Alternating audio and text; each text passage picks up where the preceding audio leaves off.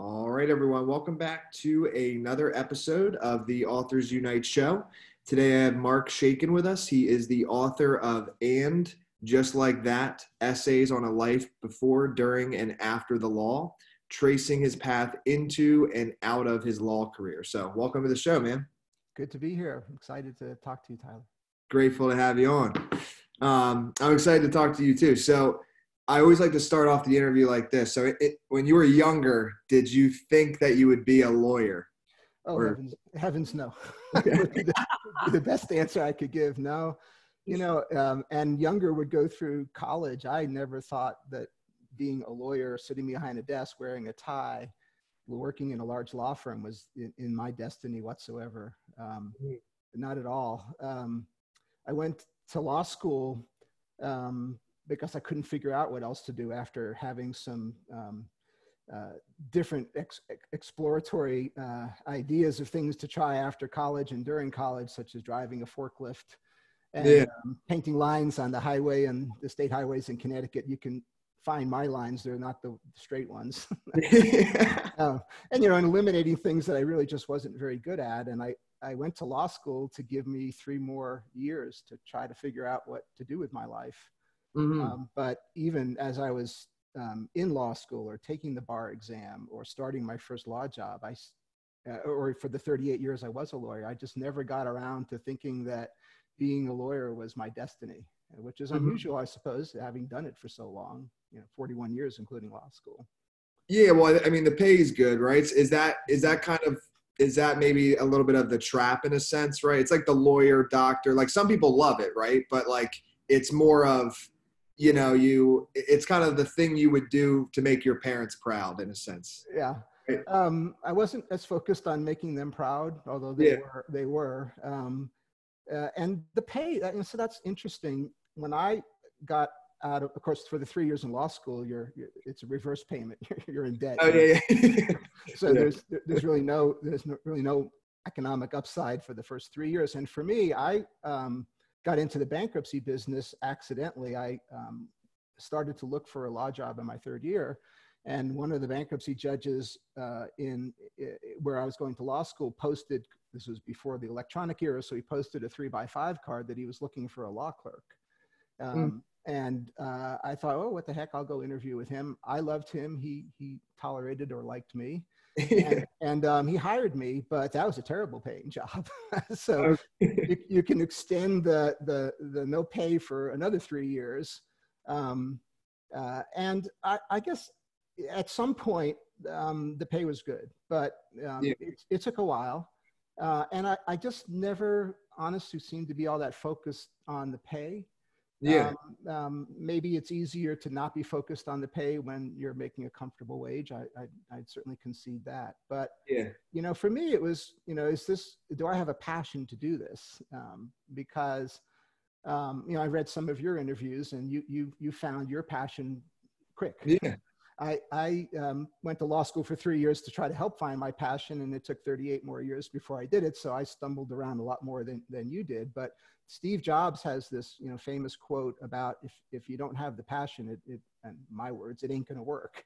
Yeah. And, and, and, I learned that, and that's true. If I had the passion uh, to be in a large law firm, um, it, it dulled over time.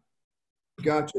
Over time. So what do you family kids is that was that kind of maybe like what kept you in it or? Um so there's there's um a, a number of things. Um, certainly family is extremely important to me. We have one kid but um, mm. uh, very important. Um, um, but my other passions really had nothing to do with being a lawyer which i, I came to believe was a really good thing. Yeah. Um, at least for me yeah, being a lawyer um, wasn't um, something I wanted to do 24 7. I had to have a break at some point and find something that I could call the balance. Yeah. The other stuff. And for me, it, it was music and photography. Um, okay. And, and still, still is. Now, you know, the, the joke about a professional photographer is it's uh, the difference between a photographer and a pizza is a pizza feeds a family of three. a, photographer may not be able to do that, especially in, in, the modern era when everybody has a camera in their phone.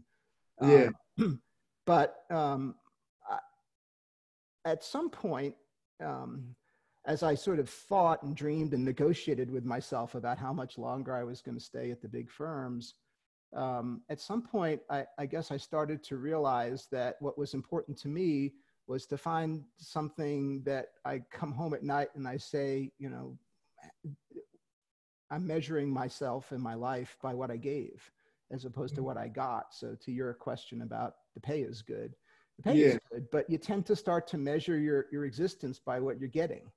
And, yeah. um, and for me, that wasn't sustainable. Um, and yeah. it is for some, and the book isn't critical of those that find the passion in the, in the law. Uh, um, but what's interesting about lawyers is that um, there's a whole bunch of lawyers that sort of don't glide gracefully into the career. They come to it as yeah. uh, as a answer to the question, well, what else can I do? Yeah. Um, and um, the, the, I think the the book, as I was writing it, and people heard that I was writing it, and you know, based on the reviews that it's been getting, um, has you know strikes a chord. There's a whole bunch of lawyers that that have this thing inside of them that said, you know, how did this happen? How did I how did I get to be a lawyer? Yeah. And is this really what it's all about? Yeah, I would find it at least for me, and you've listened to a few episodes, so you know, like I'm like a people person, so I can do this all day. But when I um like when we're negotiating, let's say contracts with a potential client, like my favorite is always actually when a lawyer is not involved because it's so uh, like our agreements are very basic. That's basically just like depending on what service they were to do with us we would be like we'll you know help you get this result. If we don't do that we'll give you a refund. That's like very basic. But mm-hmm. like when a lawyer gets into it we like we I've had occasions where it'll come back and now it's like 12 pages long and I'm like and I don't understand what it says.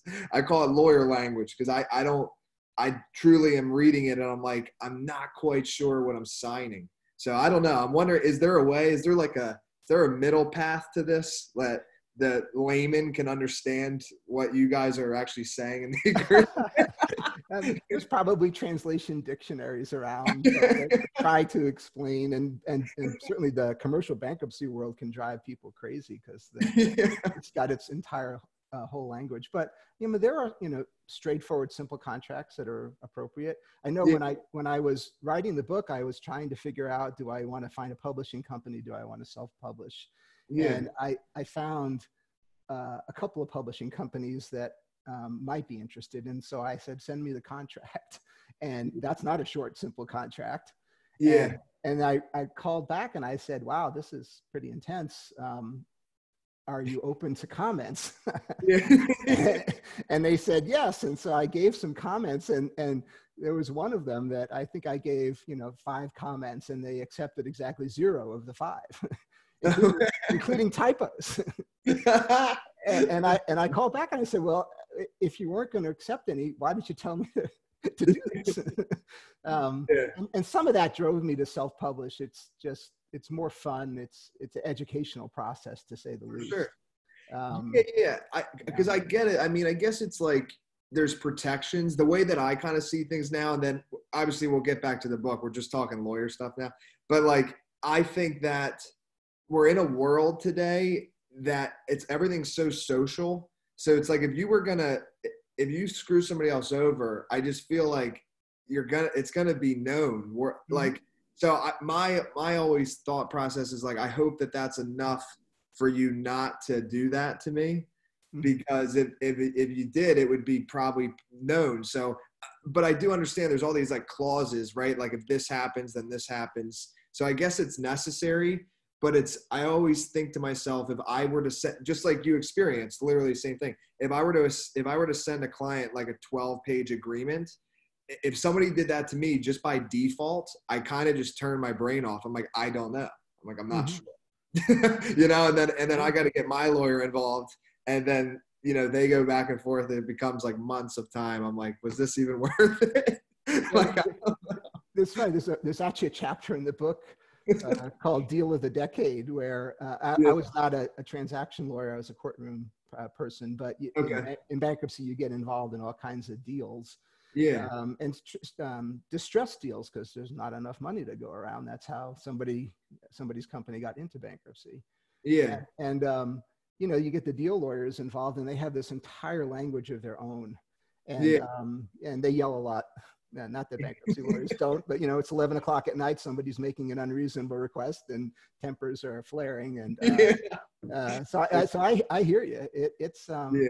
it, it's part of the, the game, and and I know from talking to lawyers, there are lawyers who who will say, my client expects me to do that. That's what they they they think they're paying me for. They expect me to get in there and fight for every word.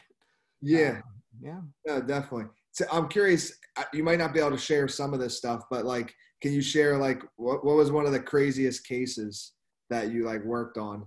And maybe you can't provide names. I don't know. I don't know how that goes. Yeah. Um, so I don't really uh, do that in the book for for that very reason. Um, Okay. I don't. It's not a call out anybody book. I don't you know, take Yeah. partner, partners of mine to task or or judges, God forbid, or or clients clients which are not allowed to. Um, Yeah. So I, I I have you know those are called war stories, of course. Um, and, uh, you know I have I have some some uh, good war stories, but I tend to share them only with the other people that were working on the case, and I know that might be disappointing because I don't want No, to no. stray.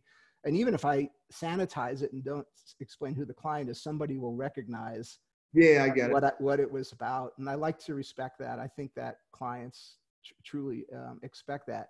For Um, sure. Yeah. Was there? Uh, I I totally understand. I had to ask though. No, no, it's, it's, it's a great question. Um, so yeah. what was the actual though so you said you'd been feeling this for a while like do like can you go back to the day that you decided to like leave the law firm like like what was that was there a breaking point or was it just like you knew like it was just it, it, it, it was like you knew. Um, uh, the, th- there's a, a famous um, Supreme Court opinion about pornography, although I won't get into the porno part of it at all, because that's not me either. Um, but it, in that, the Supreme Court was being called on to decide if something was pornographic. This was in the 1960s. Okay. And um, they were being encouraged to define pornography.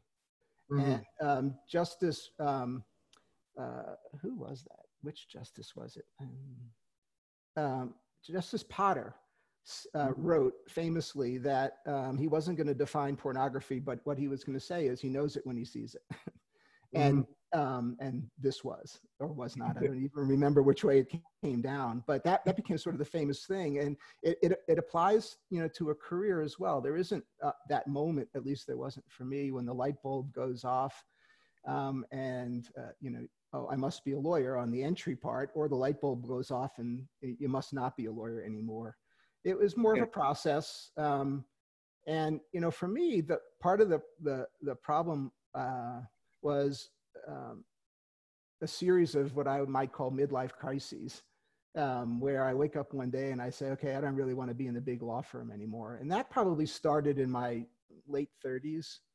Um, and uh, it, it started me, you know, thinking or even dreaming up things that I, I could, I might be able to do that would be something other than the law or other things I could do in the law profession besides, um, know, at a big firm and, and trying cases.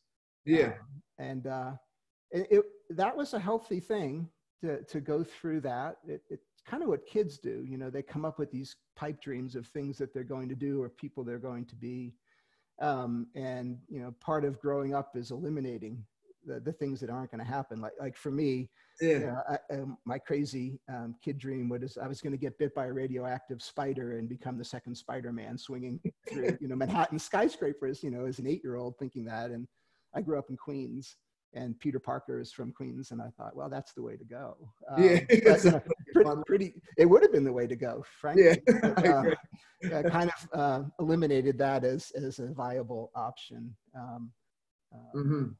Uh, and, So- and you know just a series of things that just uh, didn't happen or didn't happen in, in a way that became a career change. Uh, like sports photography nothing that i was ever able to do full time but i ultimately was able to do it you know part time um, as a professional sports photographer in um, kansas city wh- where where i was uh, at the time. And um, you know that that was a good place to go when the practice of law was becoming a little overwhelming yeah as no that makes sense the balance Yeah. um and i'm curious with, with your wife when you did decide, or wait, actually, before we get there, uh, for the exit, was it was it a like clean exit out of out yeah. of law, or, or was it like a little rumble? yeah. No, no, no. Um, uh, it, it was it was uh, organized and um, and it was it was smooth, and it may have been the smoothest thing that I've ever done as a lawyer. in, in, certainly in the bankruptcy world, whatever can go wrong will go wrong. And and um, in the the exit world from the law firm, it it it went surprisingly uh, uh, smoothly. The, the the only part that wasn't smooth was the very last thing that happens when you leave a firm is you know something to do with your your, your phone. In that uh, you know, in our firm, we owned our phones, but we shared them with the firm. And so on the phone are contacts and client confidences and all of that. And the only way to fix that is to do a remote wipe. And you know, you get a little memo that says we're going to wipe your phone tomorrow morning at 7 a.m. And you think, oh my God, wait a minute. The other stuff on the phone is mine. Yeah. so if you wipe the phone, I'm screwed. but you can't do that. And so you, you go through this, you know, all night attempt to back up everything, which I should have, of course, been doing all along. And then the wiper at the firm, who was a nice guy, but um, kind of reminded me of a, of a gallows person from Blazing Saddles. he gets on the phone and he goes, we're going to commence the wipe. You look at your phone and everything that you've ever had on your phone is gone. And, and, you know, in the modern era, that could cause you to break out in the big sweat bullets. Yeah. But, and it's only at that moment that you, you learn whether the backup worked or not. but other than that, you know, um, unexpected uh, incident, it, it, it went fine. I think people were surprised would be the main reaction that I had uh, yeah. to the point where um, um, about, you know, I don't know, a couple of months after I left the, the firm and the practice of law um, and moved on to the, the next round of things that I was going to do that I'd finally figured out was in my, in my passion. Um, I had lunch with one of my better friends at the firm who in all seriousness said, okay, now that you finished this wild hair, are you going to come back? I said, no, I'm not coming back. this, I'm, this done. Was, I'm done. it would take a very large event to, for me to come back, and I don't know what that event would be. so, yeah. Yeah. No, I got you. And and so then, when you did step out, was it like did you have like a bunch more free time, obviously, and like what what did your wife? What was that transition? I guess because I'm sure it was much different. I would imagine. Yeah. So what I learned about me, and which helped me then to start to be better about figuring out how one leaves the practice of law, is I I, I really didn't want to retire. I don't even like that word. Um, either. I'm with you. I, uh, I, I wanted to be as busy as I was as a lawyer for as long as I'm healthy. I just mm-hmm. don't. I didn't want to go to court anymore. I didn't want partners at a law firm anymore. I didn't want clients anymore. You know, I didn't want judges uh, and opposing counsel and think you know all the things that make up the practice of law i was done with uh, but then that's a pretty big void to fill a pretty big void and um, when i started to focus more on how would i fill the void and a lot of this is discussed in the book um, uh, I, I, became much more productive in deciding what, what would I do? What do I like? Well, I love art. I love music. I love photography. I love art and and um, you know I grew up in an inner city, um, and what what can I do to make the lives of kids better in the inner city through art? Um, yeah, and um, there is no end of wonderful organizations that that have that as their mission, mm-hmm. and um, if you can find a good match in that, you can get very involved in that organization. And it's remarkable how many things in the world you can do when you don't go into the interview and say, how much do you pay? Um, yeah. Um, and, and the other passion I have um, is um, putting people into homes. I've done work for Habitat when we were in Kansas City before we moved to Denver. My home building days are probably in my rearview mirror. But there's other ways to help Habitat, and anything that I could do to help Habitat to put a family into a home interestingly achieves the same purpose. Um, so the studies show that kids that uh, so if you want to, the, the, habitat talking points, which are absolutely true, you know, if you want to solve the drug problem, solve the housing problem. If you want to solve the education problem, solve the housing problem. If you want to mm-hmm. solve the gang problem, solve the housing problem. And, you know, you can't have five people living in a one bedroom apartment and have those four four kids or three kids then expect that they're actually going to finish high school and get on to college if you Mhm. put them in a home the statistics are are um, boggling that the the rate of high school graduation might go from the 60s to the to the 90 percentile rank and the number of kids that then go off to college very high. And interestingly it's the same thing with introducing young kids to art. Mhm. um, uh, it- it's almost a way to trick kids how to learn to read and how to how to um, learn math as well. And intro- introducing kids to art um, at an early age bumps up the graduation rate from high school and bumps up the entry into college rate dramatically. It's the same idea and and both of those are pretty hard to do in the in the current environment even before covid yeah. covid has not made this a- at all easy with kids not in school anymore how do you deliver art to them Yeah. um, but uh, Yeah. both of those, which I could talk about for hours, are things that I realize. Okay, if I, I can, all these organizations will take as much time as you have to give them, Yeah. and so. Yeah, I I'm, not, I'm not driving my wife crazy because I'm not home. yeah, yeah. no, well, I, I, I love the retirement thing because that's I feel like the whole retirement thing is broken in a sense, like because I, at least for me, and I, I work on many different things. I'm kind of a little sporadic with businesses and stuff like that, but I just eh, retirement. I feel like I'm not sure what I would do if I fully retired. It might not be good things, you know. like I don't know. like I might get into trouble or something. I need to stay focused. But but I, I will say when I when I did end the, my career, Yeah. um, my secretary gave me a hug and everybody congratulated me, and of course they were all using the retire word, and I, I wasn't. Yeah. Um, but I walked out. It was a snowy day in Denver, and um, if you know Denver, there's 16th Street Mall is a pedestrian mall that Mhm. our, that our office was on. And I, I I left the building for the last time with my little box under my arm. I walk out into the snow, and I I, f- I felt like the the three guys that escaped from Alcatraz must have felt when they if if they made it to shore in San Francisco. You know, always Yeah. looking over their shoulder for that marshal the U.S. Marshal that was tracking them, and I thought, well, there's got to be some partner that's going to be coming after me, dra- dragging me back into the law firm because th- th- this is the only life I've known. So it can't be this easy. But it, it turned out that um, with planning and with the sort of new mindset, and which took me 38 years to figure out how to gain that mindset, um, it was it was easy. And I, Mhm. you know, I kind of felt like I was gliding a couple of feet off of the 16th Street Mall as I walked.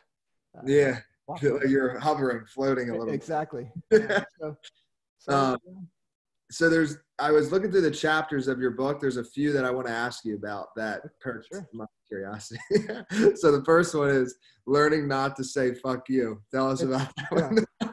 yeah so um that- and I'm, not, I'm, I'm ordinarily not a particularly vulgar person um, and, and when i when i wrote that chapter there was um, uh, a doctor that my my wife knew that was um, had, had learned at a cocktail party that i was writing the book and asked to see a sample chapter and so i let him see the ones i had written already and there was that one and he asked to read that one yeah, yeah, and so I held my breath. It's a, it's a easy read, um, and the title pretty much explains what the chapter is going to be about.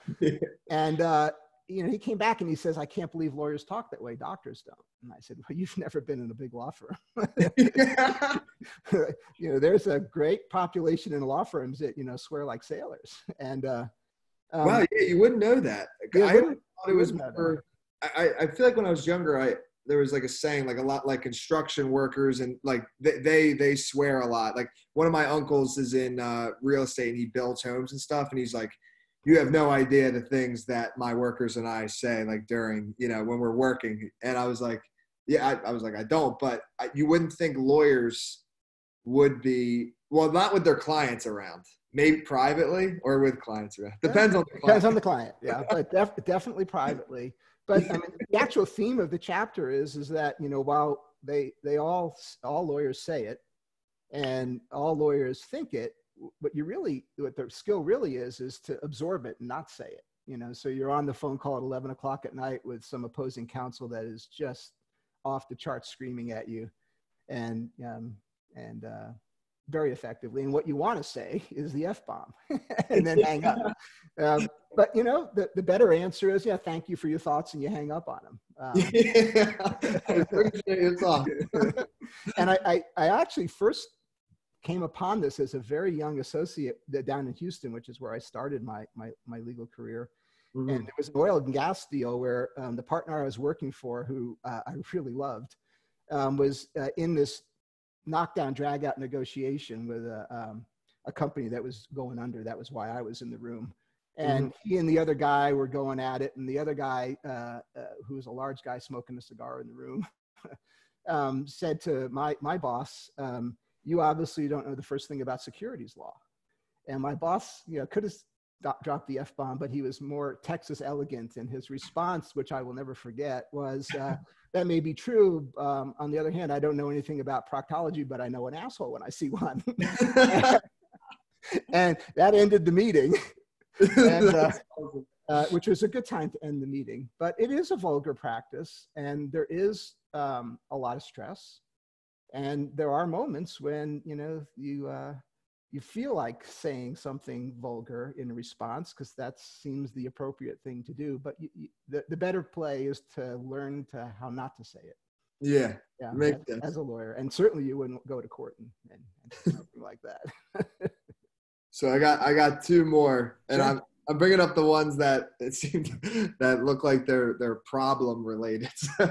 Um the second one is damage control. What's that yeah one? so um the second venue where I practiced law after uh, Houston was uh, Philadelphia. My wife uh, did her, oh, cool. is, is, a veterinarian and she got to do her residency at Penn. So off we went from Houston, which we loved, to Philadelphia, which I loved and she she didn't. Um, but in in Philadelphia, I joined uh, another large firm that was great, um, Dechert, and um, uh, there there were things going on in the, the, entire practice of law. It wasn't just Dechert, of course where um, uh, the there was a recession uh, mm. in the late 80s and that hit the corporate lawyer world pretty hard because it hit the corporate world pretty hard. And and there had been uh, a lot of associates hired to to beef up the staff to do lots of work that then wasn't there.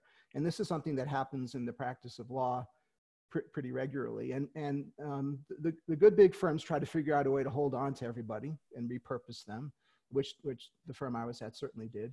Um, but at some point, you know, the economics are that people have to be let go, and there were some firms in Philadelphia, not necessarily my firm, that were letting people go with this elaborate, you know, sort of uh, uh, scheme, I'll call it, um, of uh, denying that they were letting people go because the local business papers were trying to get a hold of this and write a business story. And so they they would uh, they would give interviews and make it worse and say, you know, um, no, we didn't really fire anybody. People were just sort of moving on.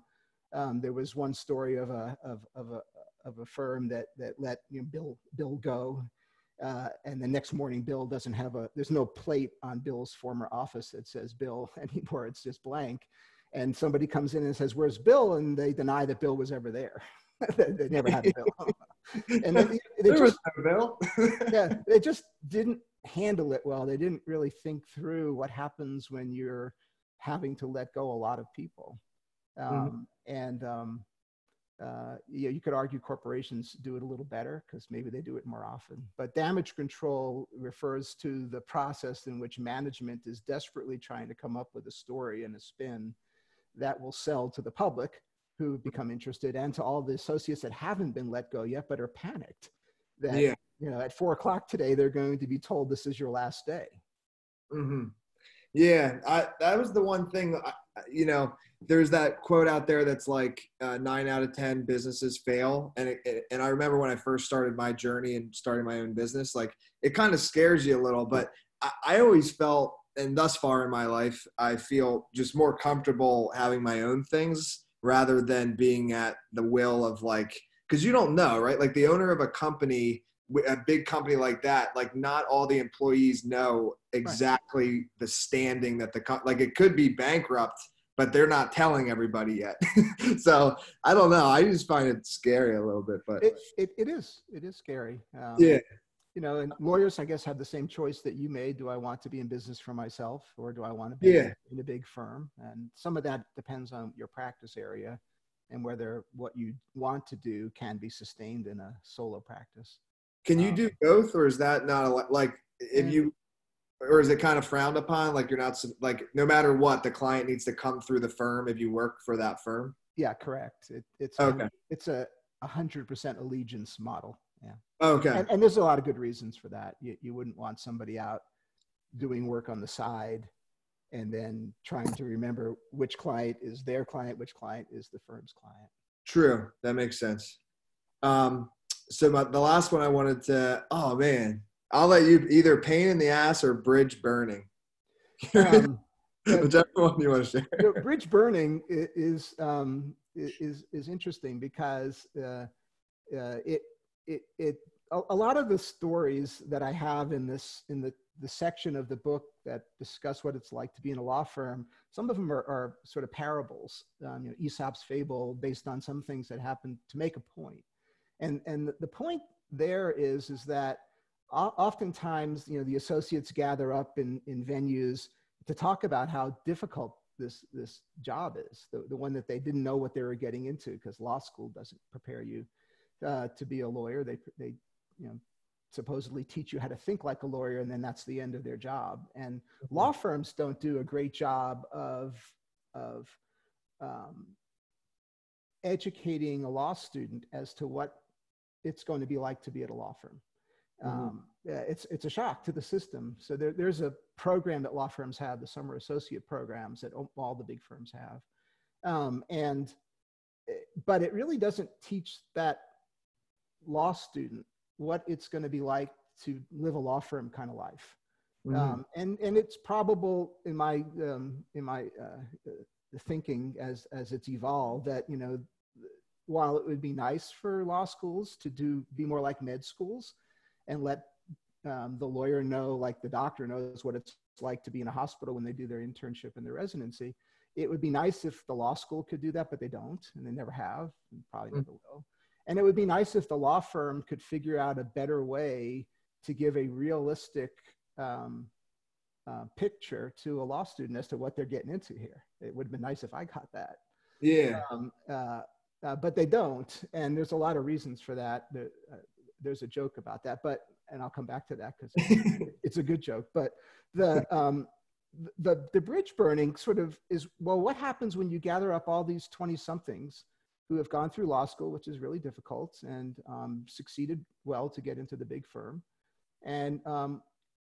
and you know things aren't going as they expected, and there's a lot of people in this group. They talk to each other, and um, when somebody leaves, oftentimes the others will come and say, you know, you've got to let the the, the management know how much this sucks, because you know you need to you need to help on the exit interview the rest of us that, that are being left behind, and you know, the of course that leads to the, the the the bridge burning notion in business. If you do an exit interview and you toast your former employer, it, it doesn't just end there. You know, it, it gets mm-hmm. out and you'll never be able to go back to that law firm. And so that that chapter is actually two associates talking, one about to leave, and the other saying you need to let everybody know for the for the betterment of the rest of us who are being left behind in this in this uh, prison.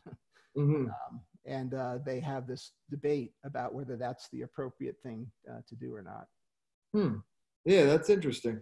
Because yeah, I mean, I'm sure like once you're whatever it is, six, seven years, I mean, you probably rack up a decent amount of debt. So it's like you're unless you got a, a scholarship or something.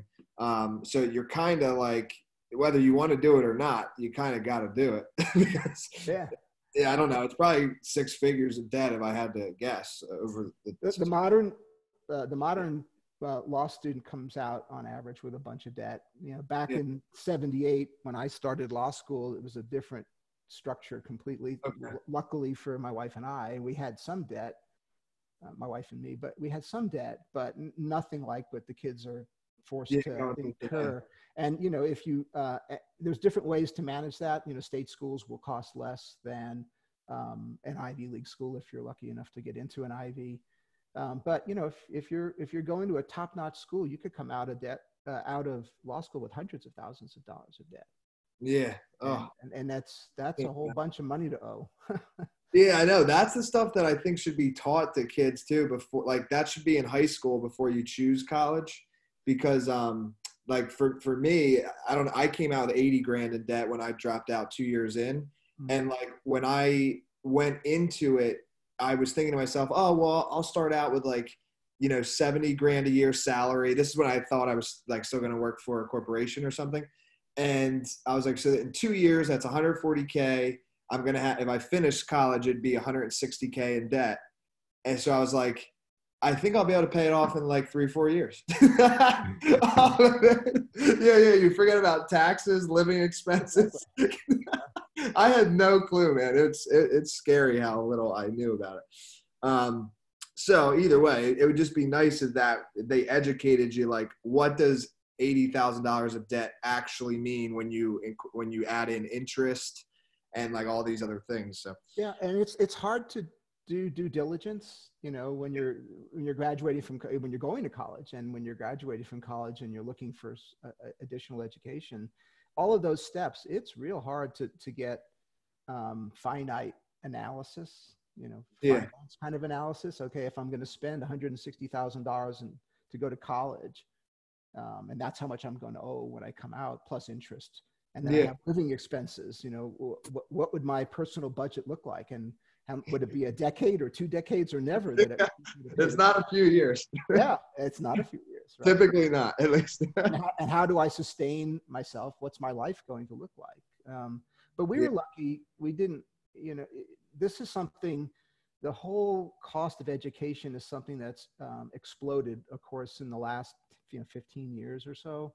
Mm-hmm. And um, I'm, I predate that by a lot. Yeah. I, I, went to a I went to a great undergraduate school on a scholarship, and then I got uh, uh, I went to a state school for law school. So I, I, I had debt, but nothing like kids are carrying. Yeah, not like that.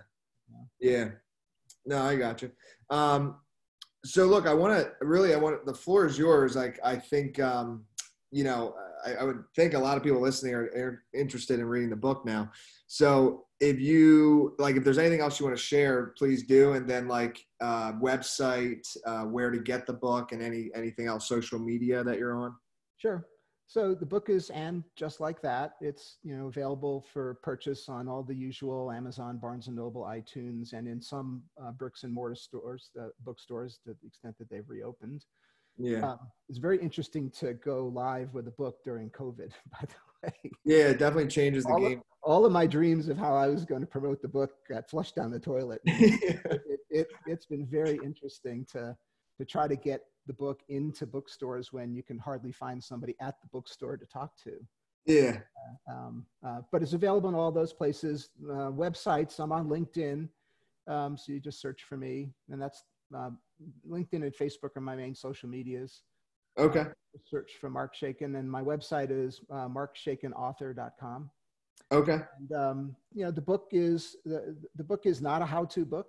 It's it's a just the way I see it book. Um, yeah. But, um, it's been rewarding to see you know the reviews that it, it does seem to have touched a, a chord with lawyers or or friends of lawyers or colleagues of lawyers uh, or people thinking of going to law school. Uh, it's uh, it's been very interesting, and some people find it funny, and some people find it sad. So uh, I, yeah, well, I'm I think I'm okay with either. that's what I would do with the marketing. Then is find like uh, groups that have a lot of lawyers in them, whatever those might be, um, yeah. right? Because I think that would be the way to start it, and then once it kind of hits the whole lawyer market, then you can get out because it's kind of it kind of seems more like a memoir in a sense. Is it is, and in fact, yeah. that, that was one of the you know in Amazon you get to pick two categories of key, yeah. and that was one of the categories that I I chose. Although you yeah. know it's a memoir of somebody that's not particularly famous, so um, there has well, to be no, yeah. yeah. Um, well, awesome, man. Thank you again for coming on the show. I appreciate it. Yeah, this is great. Um, best of luck. I enjoyed.